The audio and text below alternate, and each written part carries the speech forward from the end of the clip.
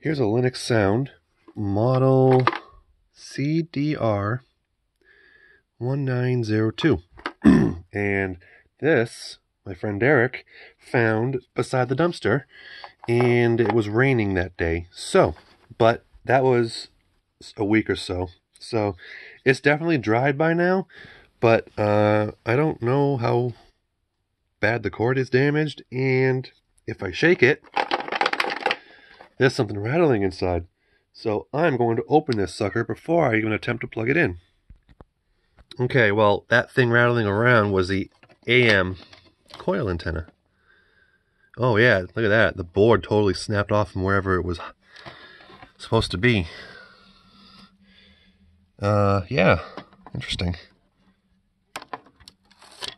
Um, hmm. I don't see any, like, signs of major water damage. Um, but I'm going to check that cord next because, yeah, that doesn't look good. But I'm trying to figure out where this AM antenna was mounted. Hmm. Interesting. So yeah, the AM antenna wobbles.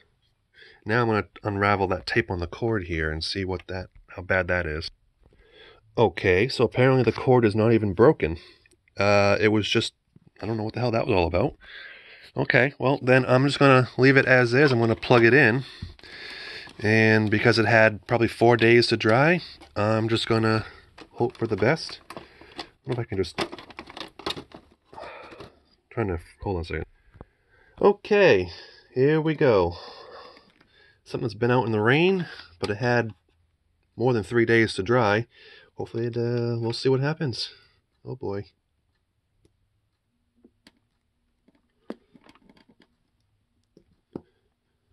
Well, it's on, so that's good. Now, this is very hard to open. Oh my god. That button needs some attention.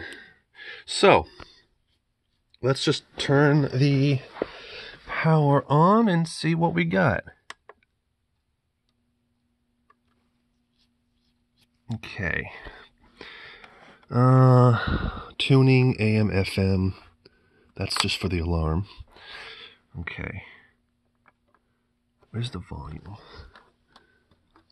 Okay. Oh, maybe it's on.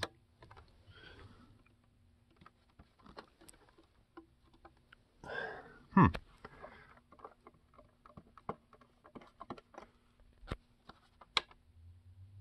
I wonder if that's why they chucked they chucked it.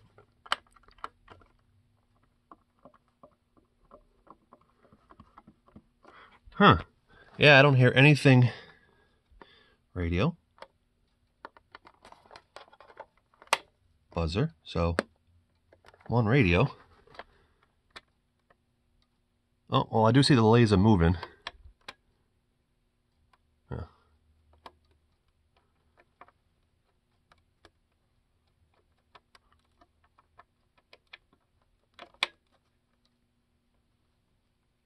I put the buzzer and the laser moves. I can hear the amplifier.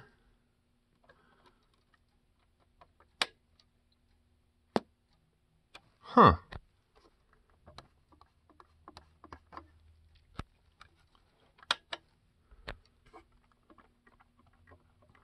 Well, that's most likely the reason they tossed it.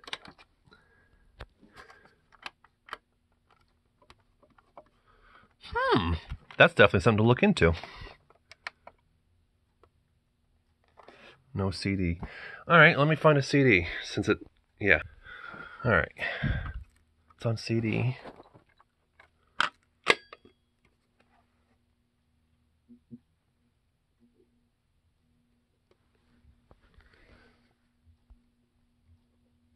Sound like it was trying to spin. Hmm.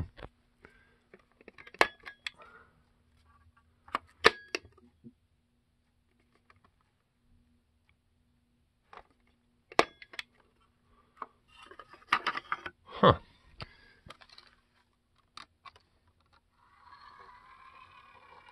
Well, that glides freely, so it's not that. I'm Trying to figure out where the button is, so it's probably over there. I can hear it going back.